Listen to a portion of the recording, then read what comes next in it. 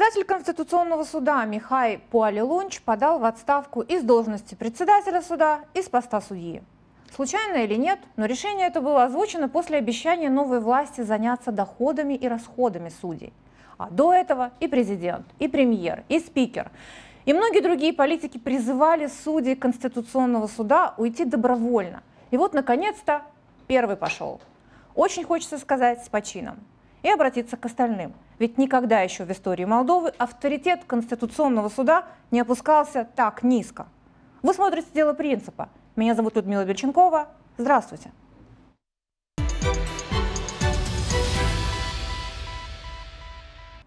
И у меня сегодня в гостях Александр Слусарь, вице-председатель парламента. Здравствуйте. Добрый вечер.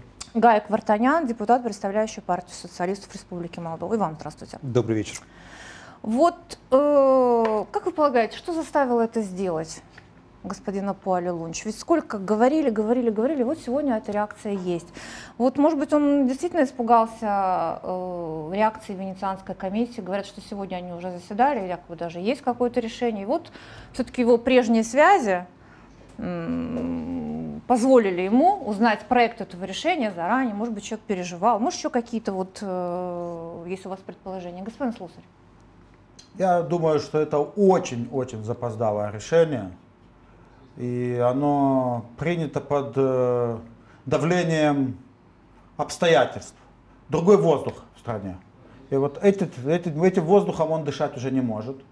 Э, это воздух свободы, а этот человек может действовать только в состоянии полной, полного рабства, полной зависимости как и остальные судьи Конституционного суда. И понятно, что после того, как они, эти шесть человек, поставили Молдову на грань не хочу сказать гражданской войны, потому что с той стороны не было. Гражданская война это когда есть две стороны примерно равные. Здесь была гашка, но, ну скажем так. Грань на, конфликта, на грань гражданского конфликта, которая, где могла бы пролиться кровь. Да. Э, после этого э, они какое-то время еще тянули. Я думаю, я предполагаю, что э, Полилунч э, размышлял, а может ли все-таки реванш, а может хозяин вернется, а может что-то, тем более, что мы знаем точно, что несколько человек от демократической партии эту, эту атмосферу как-то пытались насаждать в министерствах различных, говорить, что саботируйте все, э, Плохотнюк обязательно вернется, но я, мне кажется, что Полилунч как человек, который самый опытный из всего этого состава Конституционного суда, который четче ориентируется в политическом пространстве, он понял, что никто уже никуда не вернется, и что хозяин сбежал, бросил их, как и оказалось, в самолете, в Мерседесе места не оказалось, и сейчас каждый сам за себя, спасаясь как кто может, крысы бегут. И он, как самая опытная крыса, решил побежать первым, остальные еще не, не, не дотуркали. Но я очень надеюсь, что к понедельнику мы уже очистим это поле, вернее, э, за счет отставок всех оставшихся судей.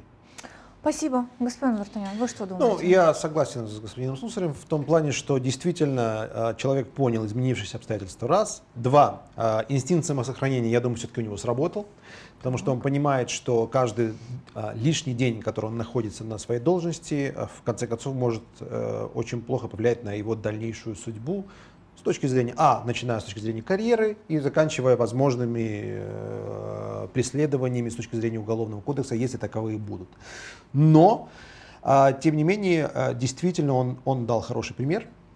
И я думаю, это сигнал всему судейскому корпусу. И те, у кого, э, как говорят, рыльца в пушку, они должны в первую очередь подать в отставку сами чтобы хоть как-то попытаться э, ну, смягчить э, то наказание, которое все, я уверен, что последует за теми многими судьями, которые э, принимали беспредельные вот, реш... наказание, решения. Если я, я, я действительно спрошу вас отдельно. Да. Вот сейчас, мне кажется, господин Слусарь затронул очень важную тему. Смотрите, он говорит по поводу того, что вот он почувствовал, да, да эту всю обстановку. А вы смотрите, как вели себя демократы. Давайте вспомним их заявление. Вот смотрите, что сказал господин Канду последнее о Конституционном суде. Помните, да?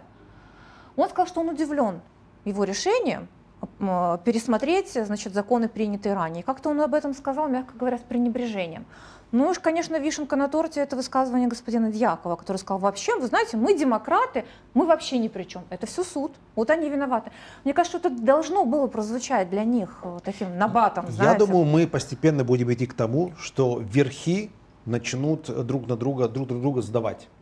Вот так. Да, я уверен, что мы придем к тому, что все-таки где-то начнется рушиться вся эта цепочка. Они, в принципе, э, руководство Демпартии очень надеется, что никто из, э, из там, верхов судейского корпуса, прокурорского корпуса, тех, кто, в принципе, держал, склеивал эту систему, это, знаете, как омерта молчания вот, в мафии. Они надеются, что это будет продолжаться. Но я уверен, что в скором времени какие-нибудь э, топовые руководители вот этой мафиозной системы, они все-таки начнут говорить, и все посыпется. А, и в том числе и посыпется и дойдет до, до Плохотнюка, который, как говорят, что нигде не подписывал ни одной бумаги, да, и может спокойненько, спокойно, да, спокойно к нему ничего нельзя предъявить. Но я думаю, мы в очень ближайшее время, особенно с назначением э, нового генерального прокурора, э, с назначением э, людей, которые действительно не боятся, не боятся э, добиваться справедливости, я думаю, это все посыпется. Спасибо. И тем не менее, вы затронули тему меры ответственности. Это очень важный момент, потому что, э, вот смотрите, как получается. Получается, что они, используя своим статусом, способствовали узурпации власти в стране. Ну, так говорили об этом. По крайней мере, то, что когда они штамповали вот эти одно решение суда за другим, одно за другим. И в конце, знаете, убийственная фраза. Решение суда окончательное, пересмотру не подлежит. Ну, да, без заседаний, без да, ничего, без фотографий, да. просто... Вот каждый раз вот это было. Э, вот эта формулировка, это страшное преступление, способствовать узурпации власти. Вы не думали об этом? То есть, Мы не только думали об этом. Вот в общем-то, э, этому, это была и причина, почему господин Настаси два дня назад подал уголовную жалобу в, еще вот в эту прокуратуру, ну другой пока нету, э, именно на суде Конституционного суда, если вы заметили. Да. А комиссия, которая была создана позавчера в парламенте, она не просто комиссия о путче, она там очень четко подчеркивает, что путь, который был совершен при э, инициирован, скажем так, я не помню точную формулировку, но четко отмечен Конституционный суд и Генеральная прокуратура.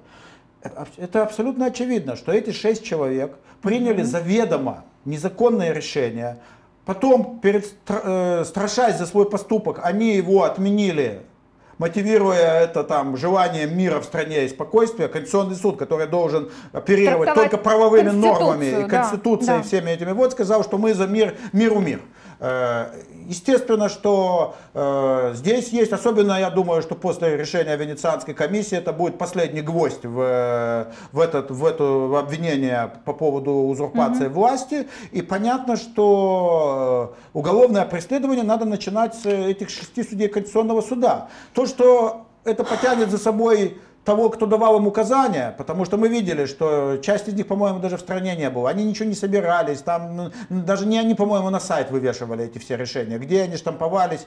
Кто им давал указания? Вот о чем господин Вартанян сказал. Э, будем тянуть цепочку. Кто да, вам, шести да. судьям, давал это указание? Да. Кто давал указание прокурорам выписывать заведомо незаконные аресты на э, э ордера на аресты депутатов? Которые, слава богу, другие честные прокуроры просто отказались э, э, выполнять, так как они были явно незаконно. И вот вся эта цепочка, она очень хорошо ложится в узурпацию власти. Если остальных, mm-hmm. допустим, других чиновников, они могут где-то еще спрятаться. Так, это такое очень слабое прикрытие, но они могут сказать, было решение Конституционного суда, мы, мы должны были выполнять. Вы шесть судей, вы что скажете? Вы прокуроры, которые подписывали ордера на арест заведомо незаконные, вы что скажете? Вот наказание должно быть неминуемо для этих вот. людей. Вот, здесь ключевое слово «должно быть». А э, люди сегодня спрашивают у новой власти, будет ли? Они не э, спрашивают «должно быть». Вот, вот Людмила, да. смотрите, одно из, мне кажется, одно из а, важных вещей, которые новая власть должна а, внедрить, она должна вернуть э, людям веру в э, неминуемость наказания, да. когда ты нарушаешь закон. Потому что это одно из тех вещей, которые за последние там, 3-4, да вообще за последние 10 лет люди уже привыкли, что начиная, я об этом говорил в парламенте, начинает по дуре Думняска, когда никто не был наказан, и оно по чуть-чуть, по чуть-чуть, по чуть накапливалось. Угу. Я, ну, и заканчивая выборами в Кишиневе, которые никто не был наказан за снятие, и вот сейчас что произошло. А, люди, к сожалению, а, не верят, что а, если ты беспредельничаешь, ты будешь за это отвечать. Я думаю, что мы должны вернуть людям веру в, в верховенство закона. Да, говорят, что вот нельзя там, расправляться, устраивать э, охоту на ведьм. Нельзя, действительно нельзя. Но Но просто так, сухими из воды, те, которые действительно поставили страну на, на грань гражданского конфликта, который рисковал превратиться в, в действительно в кровавый конфликт, мы это не оставим. А, я приведу один маленький пример. Я уже много раз его приводил. Я был две недели назад э, в Армении несколько дней, общался с парламентариями, но общался со многими людьми в такси, на рынке и так далее. Все говорили интересное слово. Они говорили слово «ветинг». Наверное, наши телезрители многие не знают, что такое ветинг. Не знаю. А это очень модное слово в Армении, которое внес э, господин Пашинян. Ветинг – это проверка всех судей, всех судей, всех, до одного там около четырех судей, на и все их связи, на их, на их э, имущество. Имущество. В Армении это сейчас самое модное слово в хорошем смысле этого слова. Там э, премьер-министр, власть запустила очищение судебной системы. Я думал, ой, интересно, неужели мы до этого дойдем? И вот я, я думаю, что мы как раз до этого тоже дойдем. Потому что вот это люди должны понимать, что мы должны очищать всю систему. И те, кто сами самовольно понимают, что за ними грешки подадут в отставку, те судьи, за которыми большие грешки, у них есть больше шансов, я думаю, а, ну, избежать или как минимум смягчить свое наказание. Я вот так считаю. Я думаю, что наши сограждане, наши телезрители должны понимать, что а, безнаказанным а, их деяния не останутся. Ну, э, вы должны не просто ждать, вы здесь на самом деле не ждете я о чем сейчас говорю? Вы депутаты парламента.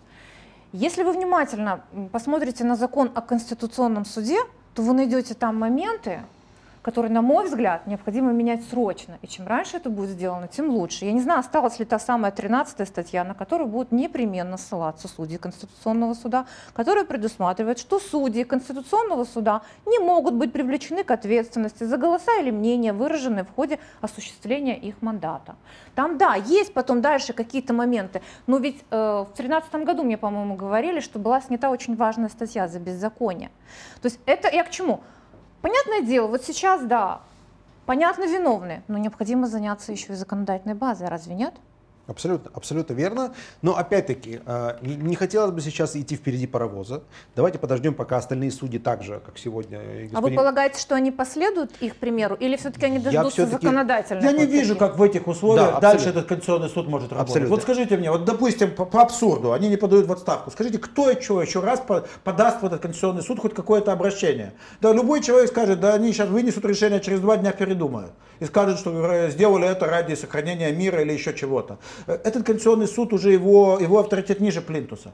Все, нету этого Конституционного суда. Он существует как здание, как это вот, но как институт у нас, мы должны констатировать, у нас нет Конституционного суда. И просто технически невозможно, чтобы он дальше продолжал. Если они будут упираться, мы, мы просто потратим немножко больше времени, мы все равно найдем возможность. Я думаю, что будет давление общества. Не хотелось бы доводить до массовых протестов, до, до вот этого вот. А может быть вот тот самый вейтинг применить, да, то, что вот начали да, говорить. Это, это не за один день, быть, это, должно быть, это должно, должно быть подготовлено конечно, к этому. Это, это, это несколько законодательных актов, это должна быть э, идея об оценке всех судей, это должно быть конечно. принят специальный закон, э, комиссия, которая будет оценивать эти этих судей должны иметь очень широкие полномочия. Э, Высший совет магистратуры, Высший совет прокуроров, президент должны быть обязаны выполнять решения этой комиссии. Это, это немножко требует подготовительной работы, месяц-два.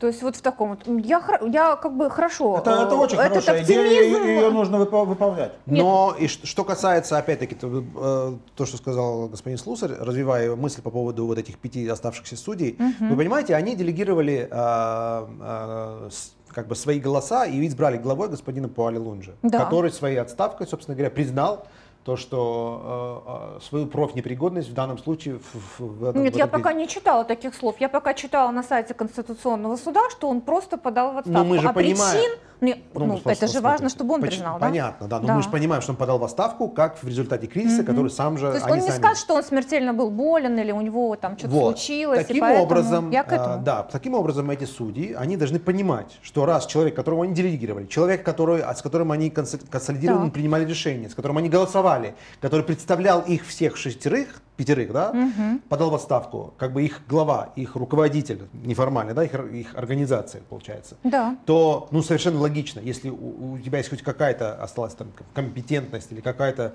какое-то достоинство, хоть, хоть малейшее профессиональное достоинство и надежда на то, что они смогут после этого еще работать там в адвокатуре или в системе, я сомневаюсь, но тем не менее, я уверен, что они должны как минимум сейчас сразу подать в отставку да? до понедельника в любом случае. А если они будут оставаться, то это значит, они все больше усугубляют свое э, соучастие э, в этом преступлении. Будете дополнять? Мне по, по поводу карьер, вот да. Я, я, я вообще слово карьера для меня немножко это даже звучит чуть-чуть, э, чуть-чуть э, режет слух. Ну, с я, их точки зрения. С моей точки зрения, опять же, я не думаю, что депутаты должны говорить от имени правосудия, должны вершить правосудие. Нет, не должны. Но мое личное мнение как гражданина, Э, я считаю, что ими дальше должна заниматься независимая прокуратура. Они, они должны быть под уголовным следствием. Не то что о карьере, я думаю, о, о свободе их э, стоит большой вопрос. О прокуратуре. Э, господин Слусарь, вы сегодня общались с генеральным прокурором по другому делу, по-моему, по поводу ту комиссию, которую вы угу. возглавляете. Простите, пожалуйста, вы все-таки задали ему этот вопрос. Вот вы точно так же ведь ждете отставки генерального прокурора. Он как-то задали, не задали? Я раз 20, наверное, высказывался по этому вопросу. Я считаю, что Нет, вот сегодня вы с ним говорили. Нет, сегодня, потому что была чистая институциональная дискуссия. Он позвонил по вопросам, э, он вдруг осознал, необходимо, что прокуратура должна помочь э, нашей комиссии. Правда? Да, так Ой, в этом был суть звонка. Он позвонил и спросил, а что, правда, что э, подняли в 2015 году документы в прокуратуре? Прокурор меня спрашивает, если... Если, если у него если есть правда, в здании да. этот документ. А кто? Угу. А можете назвать мне номер приказа, э, номер ордонанса? А какой прокурор там, фамилию? Хорошо, что у меня это все было под рукой, я ему тут же сказал, угу. кто, как, а какое число. Э, мы вам предоставим, он, он, это была сама, сама, сама доброта сегодня. Мы вам предоставим всю нужную информацию. Мы вам предоставим э, э, мы да. вам предоставим все документы. Э, мы вам предоставим все, кроме моей отставки. Потому что меня интересовал Кроу 2. С его отставкой все понятно. Меня интересовал Кроу 2. И здесь было обещание, что в ближайшее время мы сможем получить, по крайней мере, депутаты парламента смогут получить доступ к полной версии Кроу 2. Мы параллельно же работаем с Национальным банком. Угу. Но в Национальном банке не осталось даже копии. Э, все ушло сразу. Кроу, когда Кроу приехал сюда с отчетом, э, в тот же день, по крайней мере так мне рассказали секуристы Национального банка, в ту же, в ту, он приехали ночью, на утро, когда ящики принесли в Национальный банк, э, пришли представители прокуратуры, не давая никого, не пуская в, э, из Национального банка в, к этим ящикам, опечатали все и тут же все забрали в прокуратуру. Я поняла, господин Вартан, это хорошо ждать.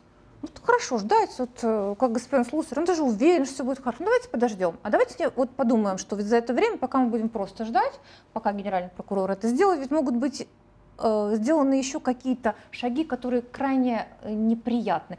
Один из них мы чувствуем на сегодняшний, в сегодняшний день. Это, например, вы представляете, что э, мы ждем, когда генеральный, секрет, э, генеральный прокурор захочет в парламенте снять депутатскую неприкосновенность господина Плохотнюка. От этого генпрокурора дождемся? Нет. Э, что нужно сделать, чтобы не просто ждать? Вот какие поправки в закон, может быть, принять? Может быть, что-то сделать? Ну, опять-таки, э, повторюсь. Значит, во-первых, мы уверены, что генпрокурор понимает, что он следующий на выход. Два. А, сейчас э, юристы прорабатывают поправки в закон, и господин Слусарь, я думаю, подтвердит. По, в первом чтении они приняты про, приняты, да. Мы сейчас прорабатываем еще, э, еще. какие угу, амендменты для того, чтобы э, сделать возможным а, абсолютно юридическим, нормальным путем, легальным путем привести нового генпрокурора. Поэтому тот факт, что господин Харунжин скоро не будет уже генпрокурором, это лишь вопрос времени. Так. А, Побудет ли господин Плохотнюк или любой другой депутат Демократической партии угу. или партии ШОР причастный к краже миллиарда или к другим преступлениям последних лет, а, еще там, 2-3 дня, неделю, две недели депутатом или не побудет, я думаю, на на финальные приговоры и на финальные расследования это не особо отразится. Поэтому Ничего страшного, мы ждали много лет того, э, как бы сегодняшней ситуации, по большому счету. Так. И лишние 2-3 дня, чтобы они побыли депутатами, я не вижу большой проблемы. Наша задача сейчас, э, самое главное, правительство, парламент и президентуры, работать слаженно, работать э, максимально быстро а, и, и идти по нашей повестке дня. Поэтому Тем более ничего... мы не ждем, процесс-то идет. Процесс идет, вот и причем Конституционный суд. Хотелось бы быстрее. Я тоже очень хочу, чтобы это все было гораздо быстрее, э, но система настолько глубоко окопалась, Настолько, настолько это. Вот понятно, что э, в первые дни вот это сопротивление было в, в ожидании реванша. Да. В ожидании, что вот сейчас хозяин вернется. Я повторяю это вот. Э, теперь с каждым днем, когда все понятнее и понятнее, что он не вернется, и что его здесь, если он попытается вдруг абсурдно это сделать, его здесь ждет очень теплый прием в кавычках, угу. я думаю, что дальше система начнет сыпаться гораздо быстрее. Тем более, что давление, идет давление общества, идет давление на законодательном уровне. Они очень хорошо сделали себе подпорки в виде законодательства, угу. но э, мы это законодательство все равно поменяем. Мы вот. просто сейчас говорим, что э, не заставляйте, не испытывайте нашего терпения. Не, неделя, две, э, мы, мы поменяем это законодательство. Уйдите сейчас, и это, может быть, будет учтено. Может я, быть, это будет я, учтено следствие. Я, я хочу добавить, и в том числе нашим телезрителям, потому что я уверен, что большинство наших телезрителей действительно хотят справедливости как можно быстрее, как можно хотят быстрее, посадок. Конечно, люди и поверьте, поверьте мне, и вот нашим телезрителям, вот, э, поверьте мне, 61 депутатов и те, кто находится в наших, в наших партиях, в наших политформированиях, хотят не меньше, а то и больше, наверное, того, чтобы... Мы устали не меньше. Поверьте мне, мы Чем? хотели бы, если бы наша была воля, мы все за один день и за два дня сделали бы. Но Э, наши телезрители должны понимать, что эта система строилась много лет. А господин Чекан, которого посадили на э, работу э, э, структурирования новой структуры правительства и вообще госуправления, расставил все так, чтобы как можно было тяжелее выкорчевывать людей Плохотнюка из, из власти. Но, к примеру, вот сегодня правительство, согласно нашему, как бы нашей дорожной карте, Майя Санду объявила о реструктуризации структуры правительства для того, чтобы госсекретарей, которые были поставлены туда Плохотнюком в каждое министерство как смотрящие за министром, это люди, которые отчитывались напрямую плохотников, ну, хорошо. будут в а, ближайшее время сняты. Вот что в головах у этих людей, которых вы которым вы сейчас апеллируете, вы говорите, да, что вот все равно это будет, и вам придется расстаться с должностями. Если вот смотрите, мне кажется, что цитаты сегодняшнего дня это цитаты господина Канду. Почему? Вот высказывание. Лица, виновные в незаконных действиях в случае высылки турецких учителей, должны понести ответственность. Гневно, э, говорит да. господин Канду. Это третья и четвертая версия его позиции, да, он да, меняется да, Я год. сейчас об этом скажу. Началось все с того, что жизнь есть жизнь. Мы тоже да, помним да, это. Да, да, да, да, понимаете? Всем здоровья. Абсолютно. Да, будьте все здоровы. Понимаете, вот такой был комментарий. Теперь же необходимо провести расследование, а те, кто допустил злоупотребление и действовал незаконно, должны понести ответственность сказал господин Канду. Вот вы знаете, я когда это прочла, я поняла, что вообще предела цинизму нет. Но тем не менее, ну, люди должны как-то вот... чемпион, э, если делать чемпионат мира а... по цинизму, Канду в, в тройку призеров войдет 100%. И, и еще добавить последнее его заявление, мне вообще очень понравилось. Это, мне кажется, можно КВН или на какой-нибудь э, развлекательный канал по поводу того, что мы наде... он сказал, что мы надеемся 20 октября на местных выборах мы наберем да, не... да. как минимум столько же примаров и заголосуют про нас. Не меньше, он сказал, но У меня почему-то промелькнула в голове такая мысль, что вот это вот это вот, учитывая то, что холдинг делал последние две недели, мне кажется, вот именно вот это такого рода э, заявления и то, что делает Канду и господин э, э, Кошмар, э, для, для, для, телезрителей да. можно скажу. Речь идет о Серджио Сырву. Который... Называют его сейчас все кошмаром, потому что он пообещал кошмар новой власти. Что да. он станет кошмаром? У, меня в голове да. промелькнула мысль, что вот как раз вот это называется, можно назвать федерализация головного мозга. Потому что нас так все пугали, и вот, вот действительно, что у них в мозгах творится, либо они играют какую-то роль, либо они действительно не понимают, насколько серьезна ситуация. То есть, если серьезно говорить, но настолько, столько цинизма, который мы да. видели последние дни, последние несколько недель, особенно вот когда они пришли в парламент, как будто бы ничего не случилось. Ну, ведь мы можем говорить, что они уже сливают своих людей. Вот вот учитывая эти заявления? Ну, я, я э, до последних дней, я думаю, что не, несколько дней они ждали, что все-таки, что вот я им сказал на с трибуны парламента, что вы хотите из этого похмелья. Вы еще не, несколько человек, вы еще не привыкли, что вы в, в оппозиции. Вы не привыкли, что так, как было, уже никогда не будет. И, и я четко, например, увидел э, два лагеря в, в демократической партии. Да. Что, что победит, какой победит, мне сложно сказать. Я видел э, ряд депутатов, которые подавлены, особенно региональные. Я видел и, и, и, и даже из центрального руководства, я видел людей, которые адекватно уже начали оценивать ситуацию. Мы в оппозиции, мы проиграли, э, есть жизнь после Плохотнюка. Э, ну, наверное, каждый из них думает о своей мере ответственности, в том числе и уголовной, будет, не будет. Но они уже смирились с этим. И есть несколько талибанов, которые то ли от э, того, что не, не, еще не очень поняли, то ли это такая, знаете, проявление, когда человек очень боится, он очень громко кричит, чтобы свой страх как-то вот выразить, и чтобы другие начали бояться вокруг.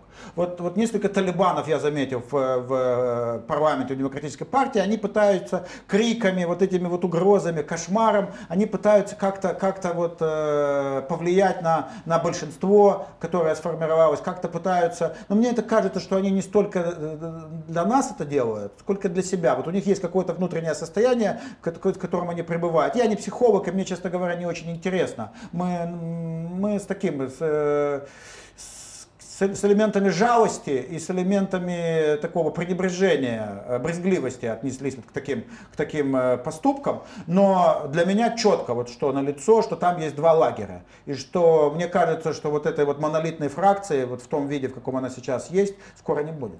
Ну, они я сами добав... это признают, секундочку, они сами это признают, потому что я не помню, кто из них сказал, что это будет нормально. А, Сырбу. Господин Сырбу сказал, что они ожидают, что люди начнут от них уходить. Я добавлю, что вот, с точки зрения психологии, знаете, как говорят, лучший э, способ защиты – это нападение. Mm-hmm. Я думаю, что вот тем самым они действительно хотят немножко себя огородить, защитить и нападая, особенно вот Сырбу и, и некоторые из э, руководства.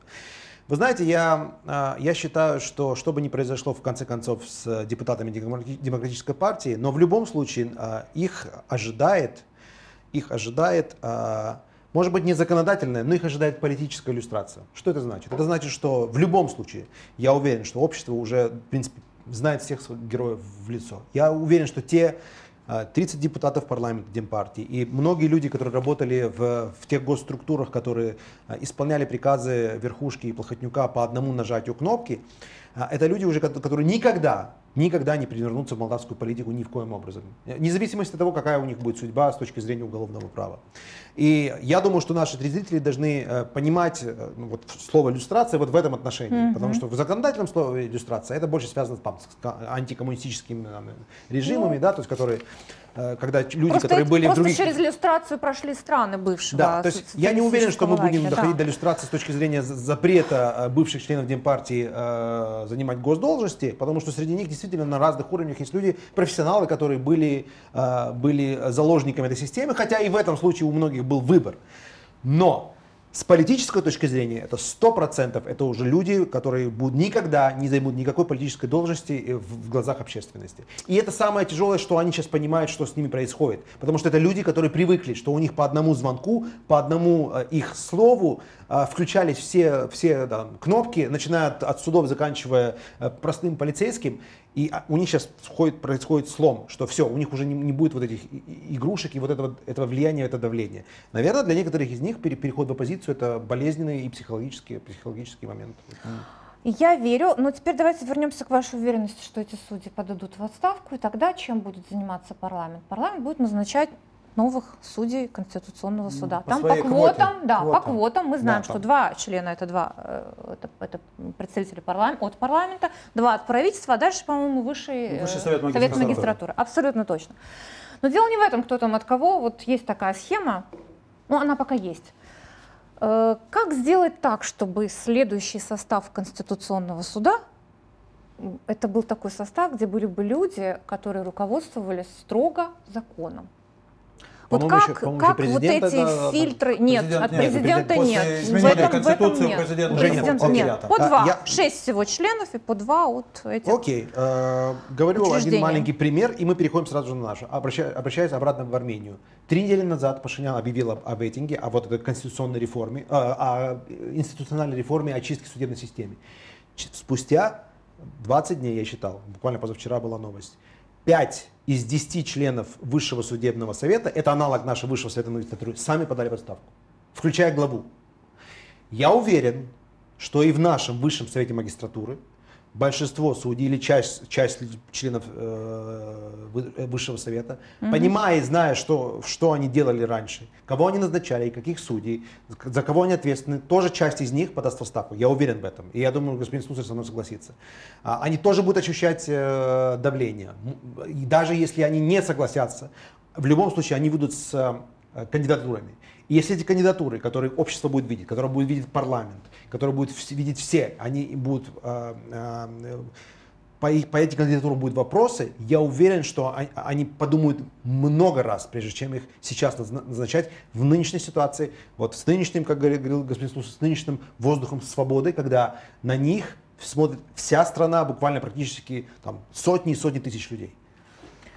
Вы согласны с таким подходом? Либо все-таки морально э, вот эти все этические, да, и остальные вот нормы это хорошо, но мы должны, чтобы, понимаете, мы должны законодательно закрепить какие-то моменты. То есть мы можем на это надеяться, но это не очень надежно. Нельзя, конечно, долго вот. жить, основываясь только на, на, на, на но... этом, потому что их нужно трансформировать в правильные правовые нормы. Я небольшой специалист в юриспруденции, честно скажу. Я не, не, самый, не, самый, не, не самая сильная моя сторона, э, но я считаю, что хоть законодательство этого не требует, э, но даже без изменения законодательства, а может быть нужно изменить законодательство, я считаю, что эти функции, и не только эти функции, но все основные функции, связанные с правоохранительной системой, нужно, э, назначение нужно проводить после конкурса.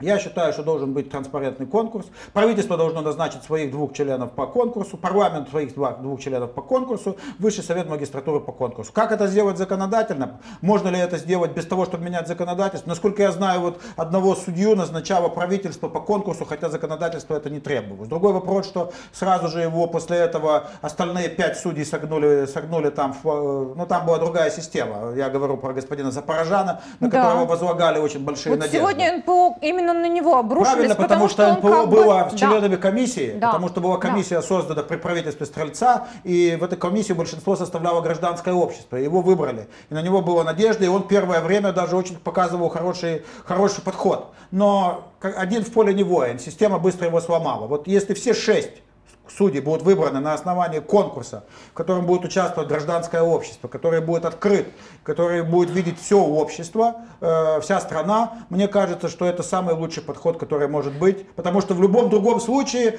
всегда остается маржа вот это вот, что какая-то договоренность внутри правительства, какая-то договоренность внутри ЧСМ, какая-то договоренность внутри парламента. Мне кажется, что конкурс это, и я говорю не только про судьи, я про... Да, сейчас огромное количество... ЧНА, про прокурора, и про все. Не, не знаю только если на СИС, насколько я знаю, с СИСом трудно, ни, ни, ни в одной стране не применяется принцип конкурса. Но все остальные функции в правоохранительной и в судебной системе, мне кажется, да и не только, и в регламентирующей, я вообще сторонник конкурсов. То есть на этих конкурсах, судя по всему, господин Слусар имеет в виду, что будут, будут введены фильтры, которые по позволят именно людям, э, профессионалам и порядочным, Люди. да, Наша вот, занять эти должности. нового политического класса э, э, это создать тренд.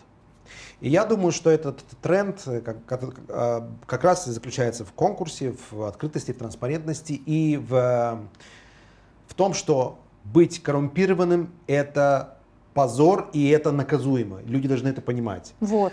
Да. И вот если мы сможем этот тренд ввести в политический дискурс, в, в, его внедрить в, вот, в, э, в, во все институты власти, я думаю, это пойдет как снежный ком. И оно будет параллельно по всем конкурсам идти.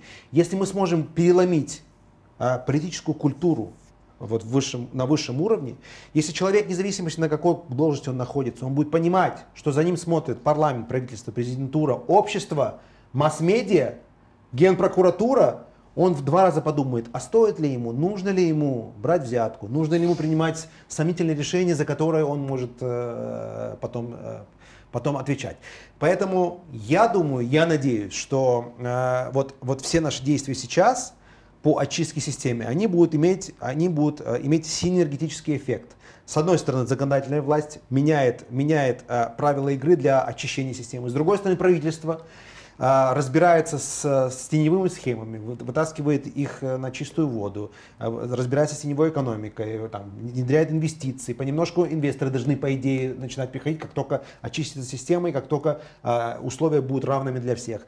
С третьей стороны, а, там, политические э, лидеры, э, премьер, президент будут работать на, внешнее, ну, на внешнем направлении, чтобы э, создать новые условия. То есть это все совместно будет работать и, и, и, и иметь синергетический эффект.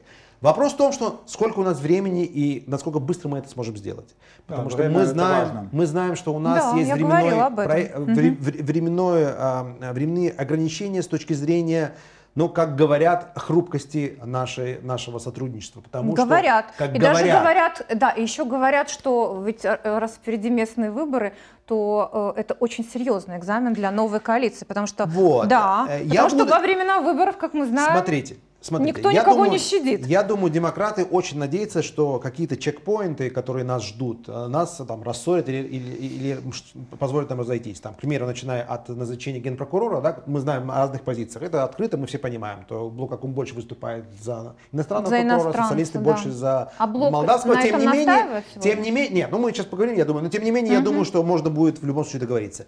По местным выборам, опять-таки, там были какие-то договоренности, не были, что мы в итоге э, решим. В любом случае, даже на местных я лично считаю, что зная ситуацию в муниципальном совете, зная ситуацию в примарии, к примеру, я знаю, что примар города Кишинева без большинства в муниципальном совете ничего не может сделать практически. Ну, очень мало может. И понима, я понимаю, что большинство в муниципальном совете, опять-таки, ни одна из партий, там, ни блокаком, я думаю, и социалисты не наберут. Нам в любом случае нужно будет сотрудничать. Поэтому будут вот такие чекпоинты, которые демократы и все наши недруги э, будут пытаться нас провоцировать на это. Но я все-таки надеюсь, все-таки и считаю, что вот та уникальная ситуация внутреннего и внешнего консенсуса, которая сегодня сложилась, с учетом вот ближайших, я надеюсь, все-таки успехов как в экономическом плане, так и в вопросах очищения государства от, от э, вот этой схемы, а, системы, продажной системы Плохотнюка, от коррумпированной системы Плохотнюка, которая была последние годы, я думаю, это даст синергетический эффект и уверенность в том, что даже несмотря на наши разногласия, мы можем продолжить дальше работать. А дальше уже посмотрим. Господин Слусарь, вы что скажете? Насчет чего? Красиво говорит ваш Ну, я в это верю, я всегда в это верил. Я всегда в это верил, я в это не, не скрывал. Э, Господин слушатель был более прагматичный в этом плане, но я думаю... Я могу какие-то примеры, наверное, сейчас привести, чтобы, э, не знаю, как-то поддержать то, что говорит сейчас господин Вартанян, потому что когда речь зашла о Сибе, вы помните, уже тогда начали говорить, вот смотрите, вот сейчас они все разругаются, потому что Акум, вот смотрите, вы отдали все президенту. Вот, тут же Акум начал говорить, что нет, да они будут с нами советоваться. Вот, да и плюс э, такие есть, как в Румынии, в других европейских да. странах, также президент Не, с ну, парламентом советуется. Формула СИБА, она, в общем-то, компромиссная. Да. Это, э, как сказал господин Вартанян про муниципальный совет, то же самое и здесь. Один без другого не может. Да. Если да. президент не, не, не предложит, мы, мы сами ничего, Хорошо. парламент не может сделать. Но если парламент не проголосует, президент может 10 раз предлагать. То есть это, это формула, которая предполагает, которая принуждает нас к сотрудничеству. И я считаю, что мы себе сейчас на этом этапе не можем можем позволить роскошь э, разлома вот этого хрупкого, потому что мы даже на 5% не начали э, чистку. Мы же ведь создавали Абсолютно. это техническое большинство в первую очередь для того, чтобы очистить структуры. Угу. И рассчитывать, что эти структуры проведут самоочищение после того, как ушел Плохотнюк, э, это очень наивно. Здесь еще работа непочатый край. И я думаю, что местные выборы, все-таки да. они местные выборы, да. и, и они не должны стать тем э, камнем преткновения, к которому мы, мы не сможем дальше двигаться вперед. Я еще раз повторяю, я считаю, что в этом году мы себе не можем позволить роскошь, э, драск и каких-то серьезных противоречий. Они никуда не, не деваются, они в глубине. Мы должны честно сказать нашим избирателям, нашим телезрителям, они никуда не делись. Мы, да. Акум не стал социалистами, и социалисты не стали, стали Акумом. Акум, да. Они ушли в сторону просто сейчас. И поднимать их сейчас у нас нет права. Мы, э, то, что делалось 20, за, за все это время, это по ту сторону добра и зла, то, что делал Плохотнюк со страной. Страна находится на крае пропасти. Э, такого шанса больше не будет, я думаю. Да, и мы должны очень Абсолютно. хорошо понимать ответственность. Вот первое слово, которое мне приходит, когда меня спрашивают, что ты чувствуешь, вот все это вот, эйфория, радость, все такое, у меня это ушло на второй день. Я чувствую ответственность. Хорошо, говорите. Э, я по поводу судей хотела бы сказать, вот, наверное, со многим согласна, о чем вы говорите, потому что вот смотрите, что было. У нас судьи была отдельная каста. Это были те люди, которых в принципе ну, за редкими исключениями, давайте вспомним Муруяна, давайте вспомним господина Пулбери. И вы знаете, на этом я, пожалуй, может быть, вы мне поможете, но я в принципе не могу вспомнить, чтобы как-то их решения подвергались э, и были после этого определенные меры предприняты. С судьями у нас было так. Им повышали зарплату, говорили, ну вот сейчас все будет классно. Все дело в том, что у них денег мало. Потом у них денег стало прилично, но, вы знаете, решения они стали еще более спорные принимать. И вот э, все-таки, я так понимаю, что вы считаете, что вот этот пример судей Конституционного суда должен стать, э, не знаю, нарицательным. Он должен войти в историю для того, чтобы другие судьи теперь с этого дня понимали, что могут в конечном итоге ты можешь ответить за свои решения, ответить своей репутацией и карьерой. В плане карьеры, ведь смотрите, Палеолунч вот сегодня подал в отставку. Какая карьера у человека была? Европейский суд по правам человека, да? Вот, то есть э, судья Конституционного суда, председатель Конституционного суда, все вроде бы ну, как все, бы... карьера вот... закончилась, да. И да, и на этом вот, вот, вот как бы другие это поймут, господин слушатель. Вот вы на это надеетесь? Я не просто надеюсь. Мы должны показать политическую волю. Мы должны быть тем фактором э, децизиональным, который э, не просто э, будем ждать и надеяться, да, да, да. а мы должны всеми своими действиями, всеми своими актами нормативными, законодательными, угу. которые будут приняты,